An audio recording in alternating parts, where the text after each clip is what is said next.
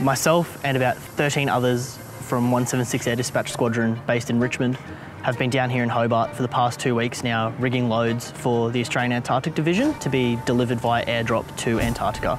The Bunger Hills airdrop delivered camp stores to a remote site uh, in Antarctica, and that enabled uh, the Antarctic Division to conduct scientific activities from that remote location. Operation Southern Discovery is such an essential part of Australia's Antarctic program, and the capabilities provided by Defence really add incredible value in terms of logistic reach and capability and people that enables so much more science to be conducted.